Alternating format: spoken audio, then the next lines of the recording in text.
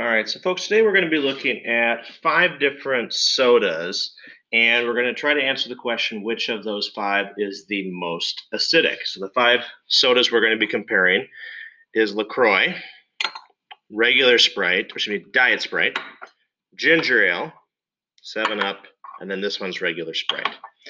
And so the question we're going to try to answer is which of these uh, five sodas is the most acidic? And the way we're going to do that is by adding a base to each soda in order to react it. And the idea is that an acid and a base will react and neutralize to produce water and then an ionic compound salt.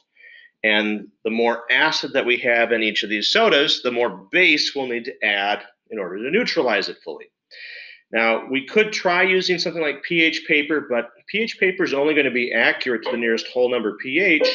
And quite frequently, pHs that are, you know, as we saw, it's a logarithmic scale. It's going to be a big difference between a pH of 3 and a pH of 4. That's going to be a change of 10 times. Okay, so a, that's not going to be accurate enough for what we're working here. So what we're going to do is add a 0.2 molar sodium hydroxide solution. So sodium hydroxide is our base. We're going to consistently measure out the volume of soda so that way we can compare how much base is added to each of them. Now, if I were to add base to a soda, it will neutralize the acid, but I won't know when all the acid has been neutralized. So what we're going to do is add an acid-base indicator. Today we're going to use phenolphthalein. We saw this one in our properties of acids and bases lab. Phenolphthalein, remember, is colorless in acidic solutions, but it's going to turn pink in the presence of bases. Okay, and so we're just going to add one or two drops of this to our soda samples that we're going to be reacting. This is what we call a titration where we try to figure out how much of an acid or base is present in something. And we'll learn more about titrations after spring break.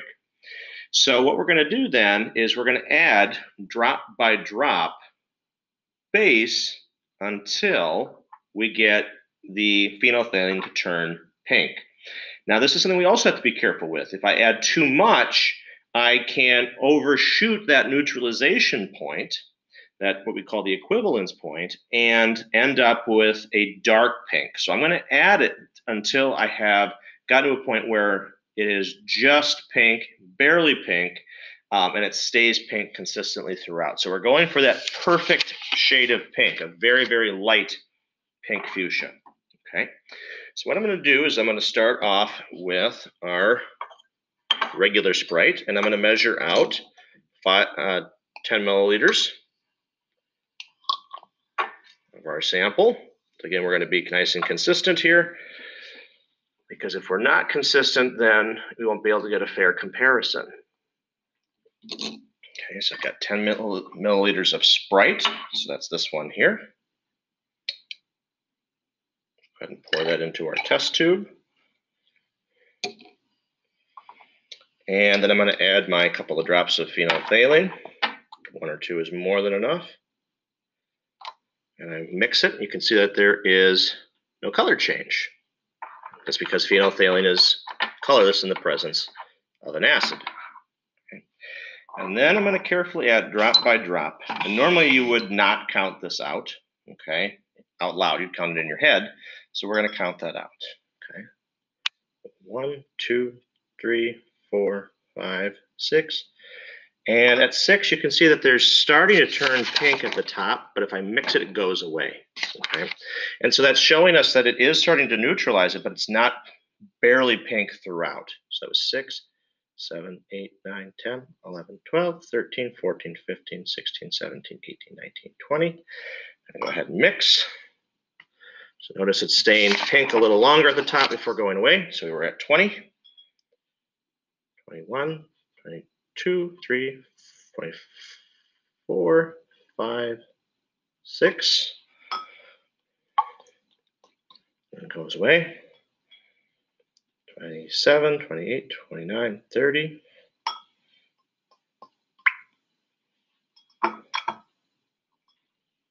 Thirty-one, thirty-two, thirty-three, thirty-four, thirty-five, thirty-six, thirty-seven. Notice it's staying pink a little longer each time. 38, 39, 40, 41. I'm not going to add as much each time now because it's starting, that pink is starting to stay longer. That tells me we're getting closer to being neutralized. That was 41, 42, 43, 44, 45.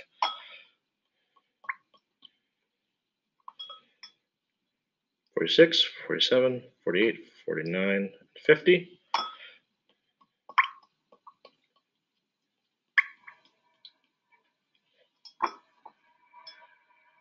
Fifty-one, fifty-two, fifty-three, fifty-four, fifty-five. See, it's starting to turn pink and stay pink at the top, it's not pink all the way through. So I'm just gonna keep mixing it. That was 55. So we're really close, maybe a drop or two. So I'm gonna add 56, 57. And still gonna color this at the bottom. So we're at 57, 58, 59. So again, we're looking for the faintest shade of pink. You can see how it's pink on the top, not quite pink on the bottom. So I'm just trying to mix that. So any extra acid that's in there neutralizes out.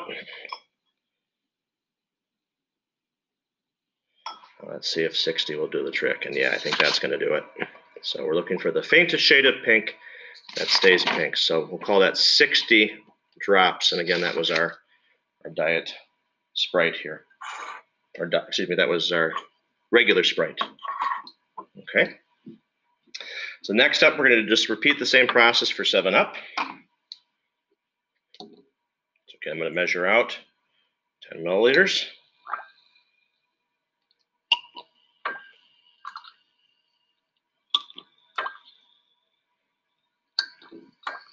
Again, we want to do this as accurately as possible. So we have consistent sample sizes. Okay, so we're at 10 milliliters there.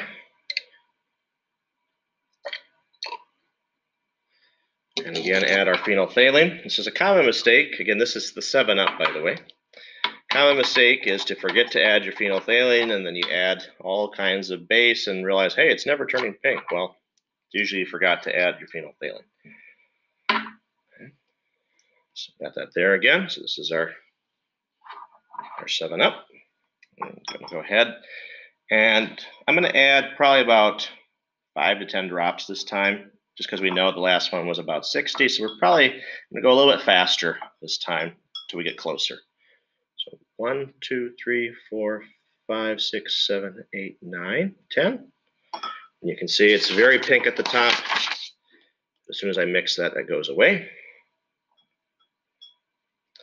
11, 12, 13, 14, 15, 16, 17, 18, 19, 20. Okay. Lasted a little longer this time. 21, 22, 23, 24, 25, 26, 27, 28, 29, 30. And it's definitely staying pink longer, but it is still going away. So I'm going to go a little slower now, about five at a time. So 31, 32, 33, 34, 35.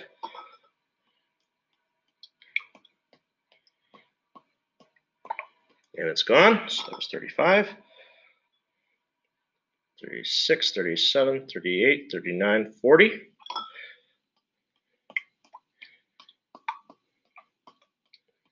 It's getting close. So it's definitely still pink on the top, but very much clear on the bottom. Yeah, it's getting closer. So 41, 42, 43, 44, 45, 46.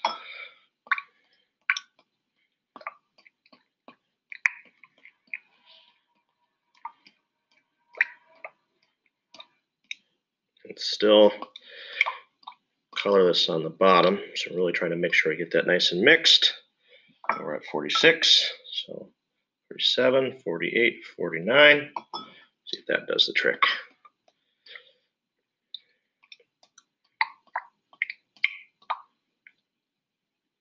And still kind of clear on the bottom. So 50, 51, 52. That will probably do it. Yeah, it's looking pretty. Looking at that, that's pretty, pretty much gonna be pink throughout, so 52. Okay. All right, so next up, we're going to take a look at ginger ale. And the ginger ale, you'll notice, has a little bit different color than the previous two we've been looking at. So again, I'm going to measure out my 10 milliliters.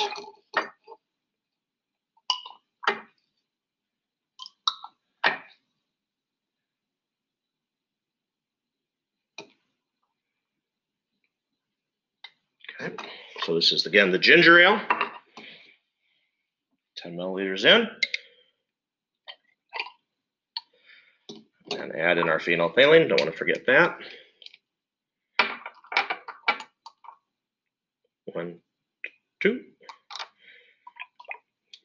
Again, stays the same color, nice and consistent. And we're going to go ahead and add in our base. Again, probably about 10 drops at a time. So one, two, three, four, five, six, seven, eight, nine, ten. You can see it's starting to change color at the top, but quickly goes away. 11, 12, 13, 14, 15, 16, 17, 18, 19, 20. And you can see that color change at the top. And it quickly goes away. 21, 22, 23, 24, 25, 26, 27, 28, 29, 30.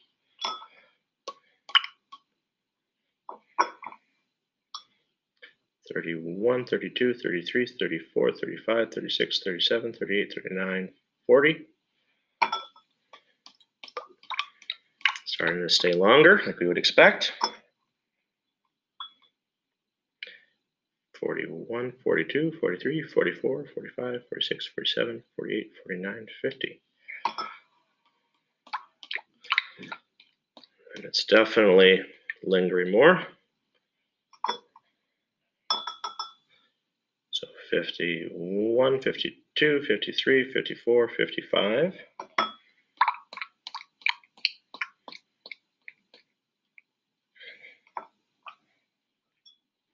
56, 57, 58, 59, 60.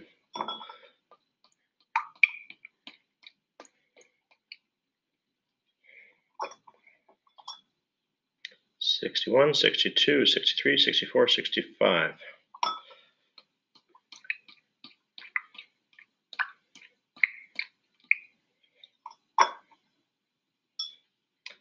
sixty-five. Sixty-six, sixty-seven, sixty-eight, sixty-nine, seventy.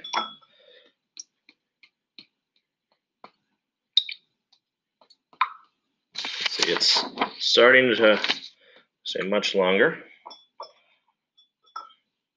71, 72, 73, 74, 75.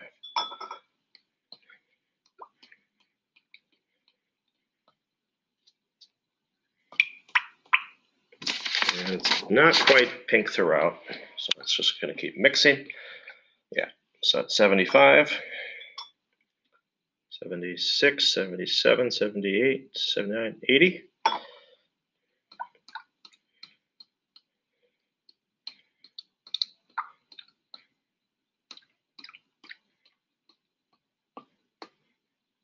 Still kind of colorless, or still kind of that original color on the bottom. A few more drops. 81, 82, 83, 84, 85. Yeah, I'm just looking at the top. That's probably going to do it.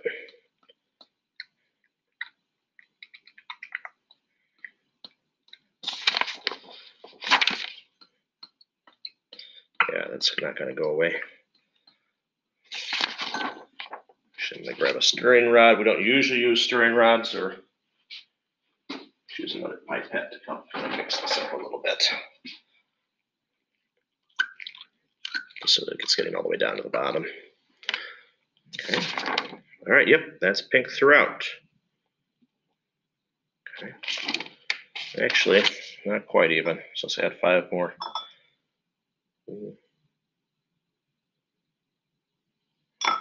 Yeah, there we go. All right, there we go. That was our ginger ale. All right. Fourth one we're going to look at today is Diet Sprite. So again, I'm going to measure out my 10 milliliters.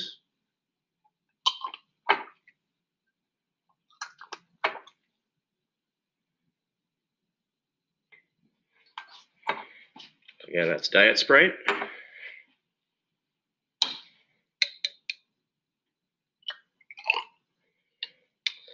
Pour that into our test tube. So far, so good. Haven't forgotten phenolphthalein yet. Doesn't happen to me too often, but every once in a while. It's one of those mistakes you just don't want to make. Okay.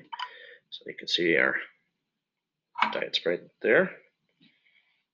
Again, I'm going to add about 10 at a time to begin with. So 1, 2, 3, 4, 5, 6, 7, 8, 9, 10. Goes away pretty quickly. 11, 12, 13, 14, 15, 16, 17, 18, 19, 20.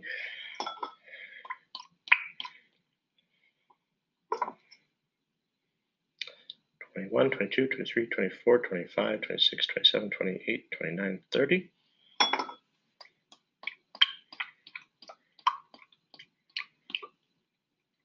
There we go.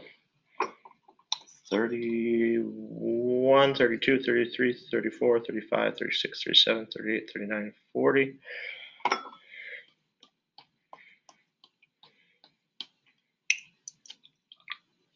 See, it's gone. We slow down a little bit because that was starting to linger a little long. 41, 42, 43, 34, 45.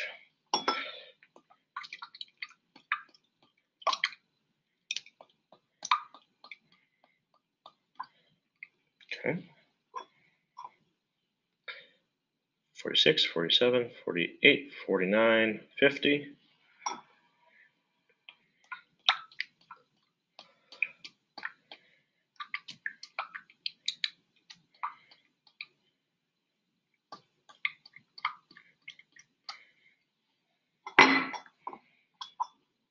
Fifty-one, fifty-two, fifty-three, fifty-four, fifty-five.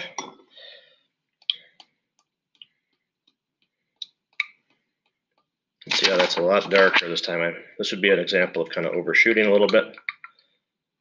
Make sure it's really well mixed at the bottom. It can be really hard to get down to the bottom. I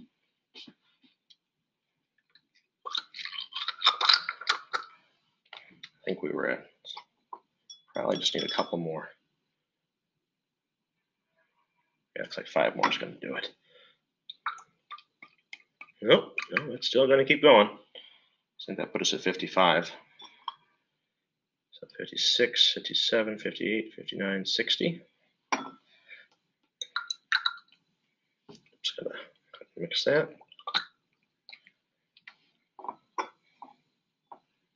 Sixty-one, sixty-two, sixty-three, sixty-four, sixty-five.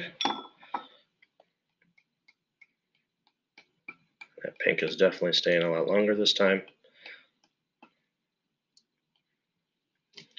Probably be.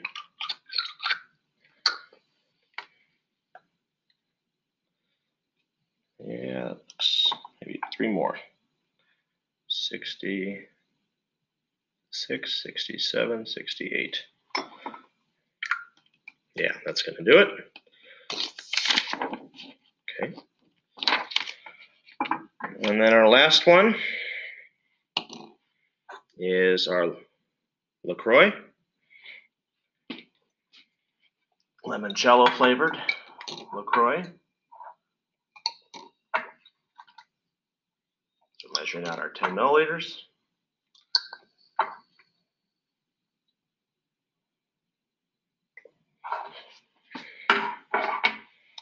Put that into our test tube.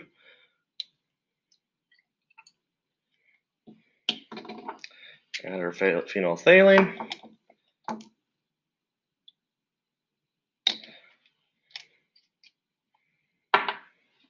Mixed.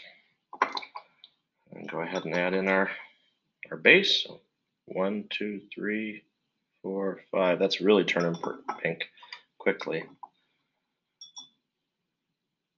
Six, seven, eight, nine, ten. 11, 12, 13, 14, 15, 16, 17, 18, 19, 20. 21, 22, 23, 24, 25. 26, 27, 28, 29, 30.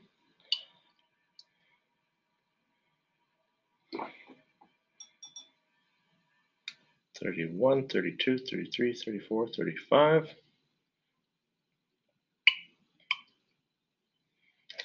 Thirty-six, thirty-seven, thirty-eight, thirty-nine, forty.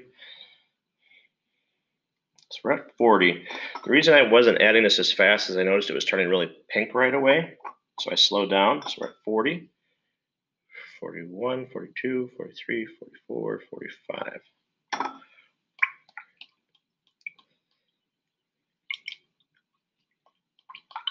That might do it, or it will be very close. It's going to be very close. So 45, 6, 47, 48.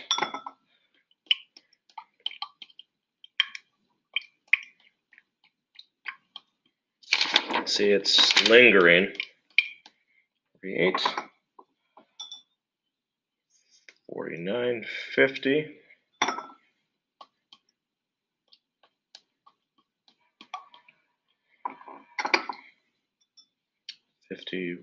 Fifty-one, fifty-two, fifty-three, fifty-four, fifty-five.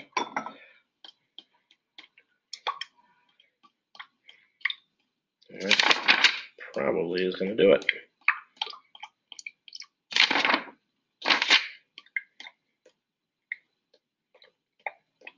Yeah, that's pretty much. Maybe two more. 56, 57. Yeah. Probably should have stopped at 55. So notice that it got pretty dark here. So we'll call that one, we'll split the difference and call it 56. Okay. Now, I also want to show you why we're stopping when we get just pink. So you consider that just pale pink there. If I add just a bunch, Notice how dark that gets. So we want to avoid that really dark, deep dark fuchsia. And we want that faintest shade of pink so you can really see just how dark that can get. That's what we call overshooting. So again, we want that very light shade of pink that stays pink, not that dark kind of fuchsia.